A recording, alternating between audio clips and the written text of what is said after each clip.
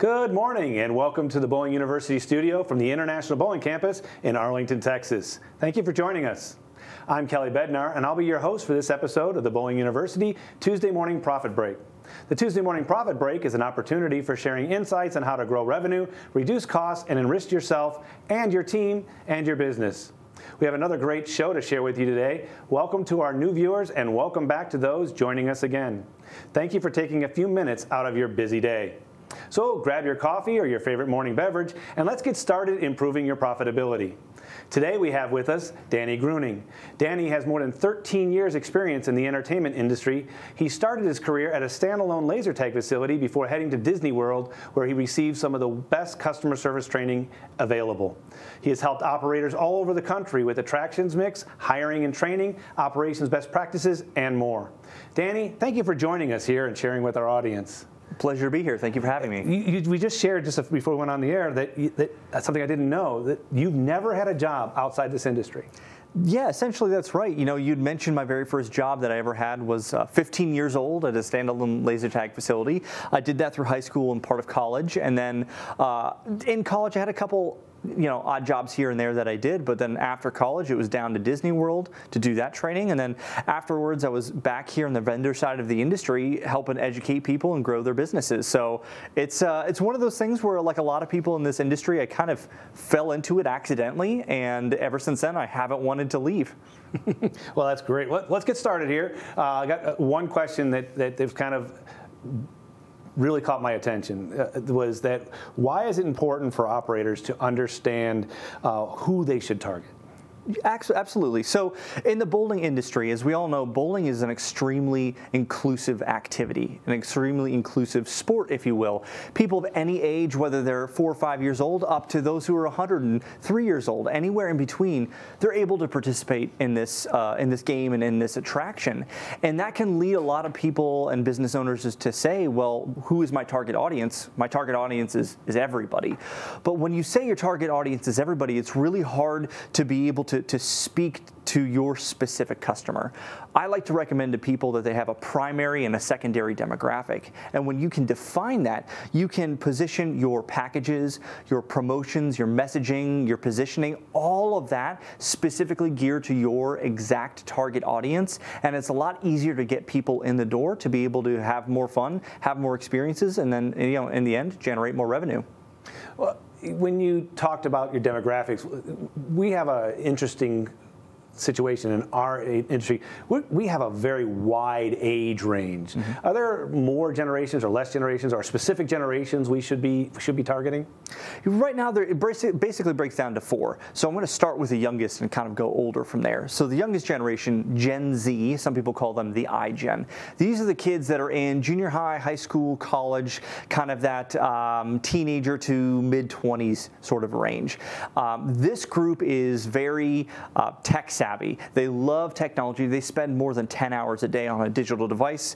70% uh, of this group watches at least two hours a day of YouTube, which if any of you have kids or employees, you know they're attached to their phones at all times. It's a part of their body. They can't let it go.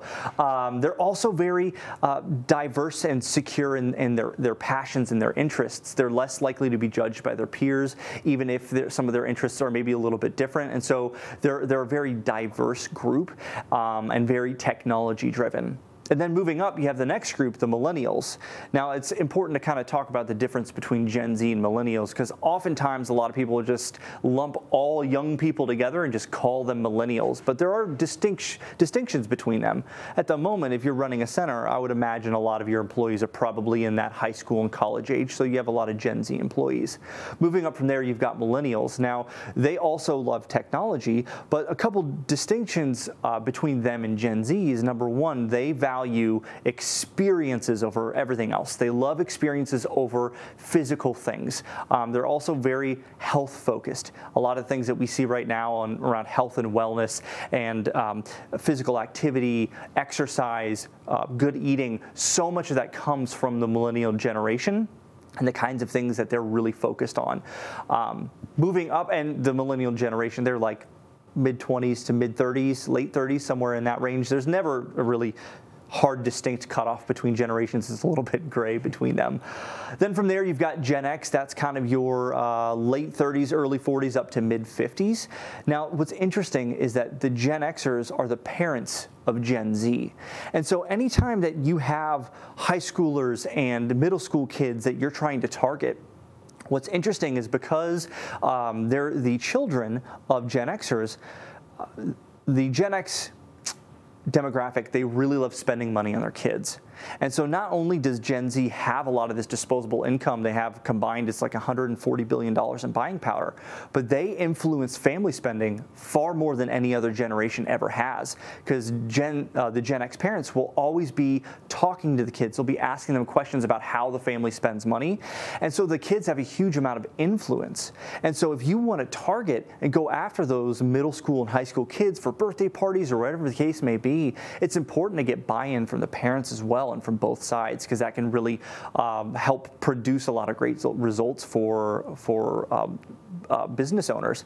And then the last group being the uh, baby boomers, which is in that mid 50s to mid 70s range.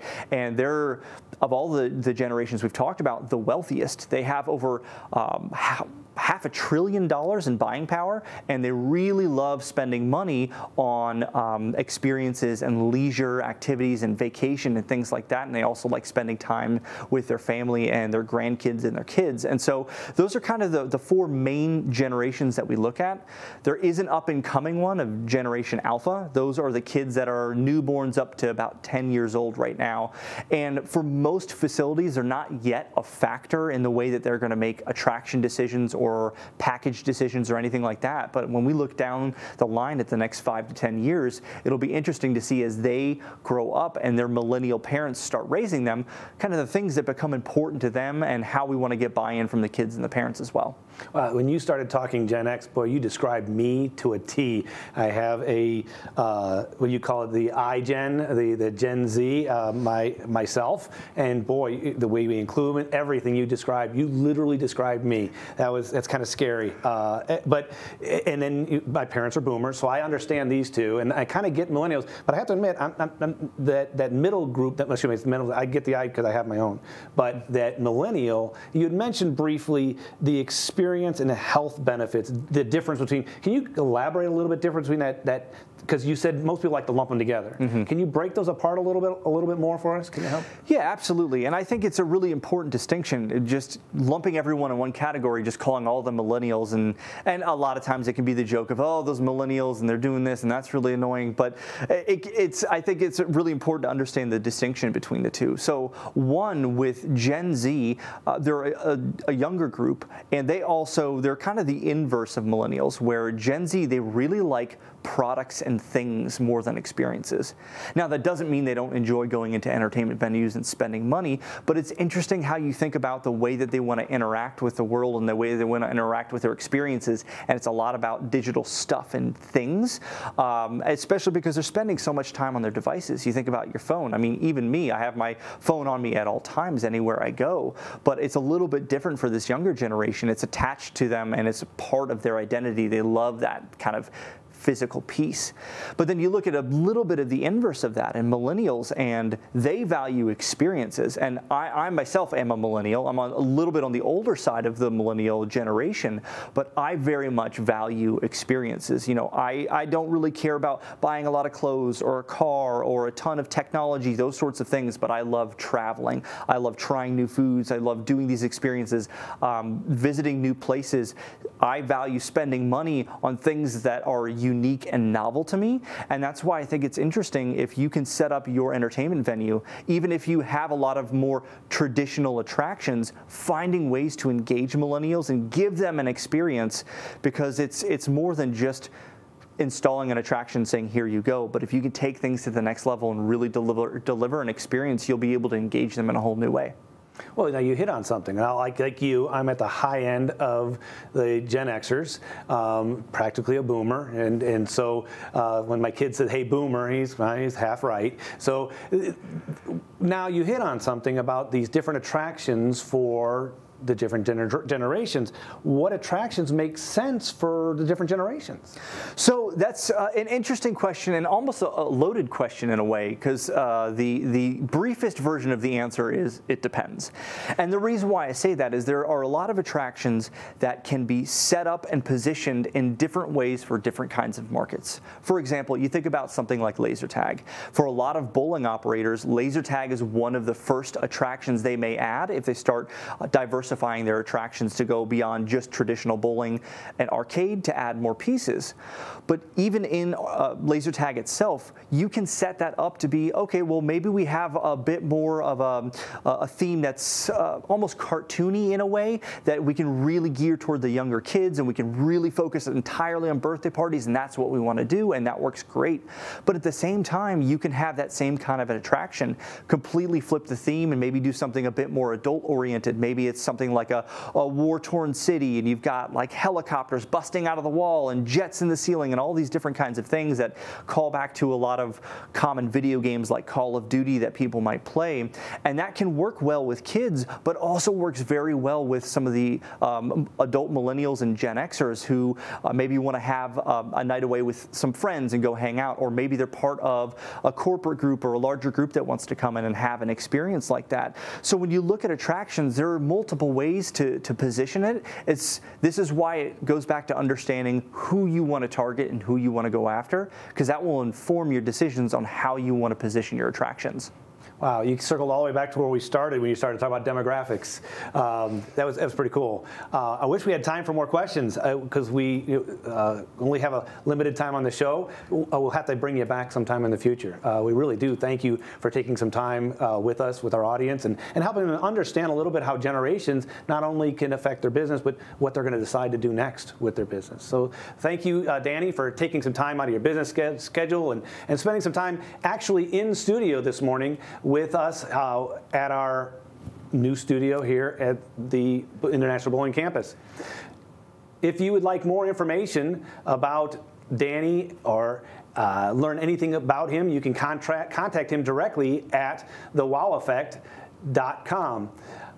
As we wrap up another edition of the Tuesday Morning Profit Break, remember when your focus is on growing people, people will grow your business. We look forward to seeing you next week at 10:15 Eastern for another episode of the Tuesday Morning Profit Break. If you have any questions about today's show or would like additional information, you can reach us at any time at education at bpaa.com. Also, you and your team can watch any of our previous episodes 24 7 by visiting bowlinguniversity.net. Until then, I'm Kelly Bednar, and do for one what you wish you could do for everyone. See you next week.